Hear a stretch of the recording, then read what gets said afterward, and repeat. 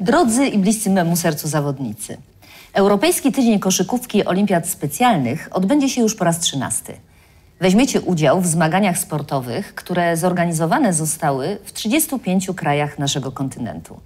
Jesteście silną, wspaniałą i dynamiczną drużyną, która jest żywym dowodem na to, że Olimpiady Specjalne są bezspornie wartościowym ruchem. Dzięki niemu możemy oglądać Was i Wasze imponujące wyczyny. Zawdzięczamy Wam wszystkim wyjątkowe i emocjonujące przeżycia. Podziwiamy Was za to, że godnie podejmujecie rywalizację i z odwagą stajecie do pojedynku.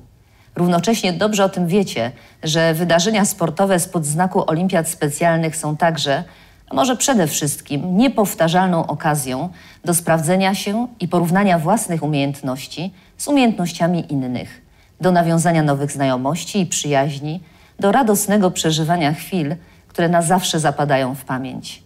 Bardzo gorąco pozdrawiam Was, Waszych trenerów i wolontariuszy oraz kibiców. Niech Europejski Tydzień Koszykówki będzie świętem nas wszystkich, całej olimpijskiej rodziny. Powodzenia!